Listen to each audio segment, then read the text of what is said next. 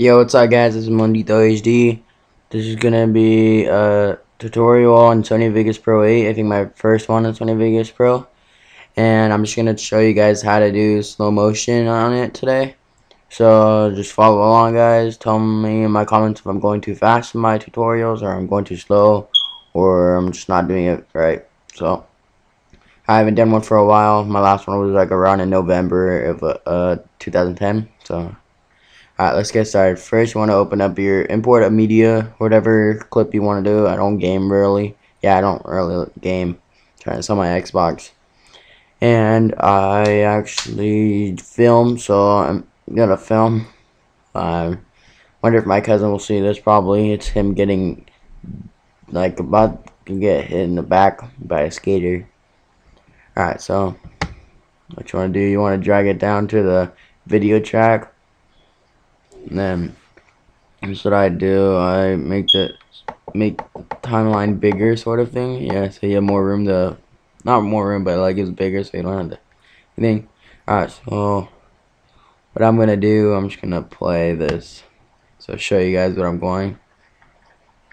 Alright, you can't really see it because it's all like, I don't know, because it's you're I'm recording with Cam Studio, whatever it's called. So what you're gonna do, you're gonna click on it or whatever, and then go with your right key and go wherever you want to begin your uh, slowness, slow motion. Oh my bad. I'm gonna start mine about right here.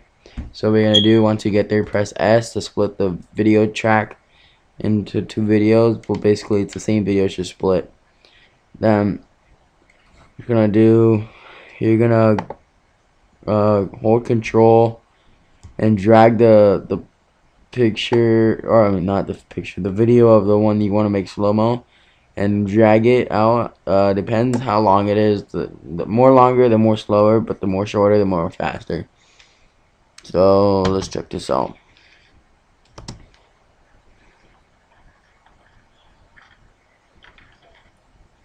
Ah, Looks pretty stupid. I'm gonna make it a little bit slower.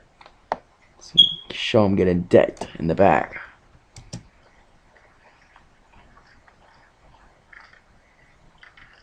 Alright, about there. It's about five seconds long, I guess. I don't know. Alright, so I'm gonna do right there is basically it. So comment, rate, and subscribe. Uh, oh, wait, actually. I'm gonna show you guys how to render right now. My bad. Click the wrong thing. File, go to render as. I actually. Alright, so what you want to do, go to save as type. Um, look for Windows Media Video 9. And go to custom. And then go to video rendering quality. You want it at best. Um, uh, yeah, for audio you want the mode CBR, format Windows Media Audio 9.2, and attributes 128 kbps. I don't even know what that is. And then 44 kilohertz, something. I don't know. I'm not really good at that stuff, but and then stereo AV. And then you want to click on video tab, put on CBR, Windows Media Video 9, and then put an image size high definition high definition 1280 x 720 that's how you put it in your settings, whatever. Then frame rate, FPS 29.970 NTSC, basically the only NTSC there is. Then you want to put your, you actually want to put your video smoothest all the way to sharp sharpest 100. And then go to bitrate. Then uncheck everything besides internet LAN and make sure it's at 3M M for Mbps. And then go to index summary. And just keep that all same. I don't have to do anything with that. And then click OK. And then you're gonna want to save it. Well I already have a thing saved so I'm not gonna save it. Just so that just save it and it'll finish rendering. That's pretty much. So again comment rate like and subscribe. And show your friends this tutorial so if they want help or anything if you film you game or anything actually helps a lot. For me I like to make edits so it makes it pretty sick. So alright Thanks.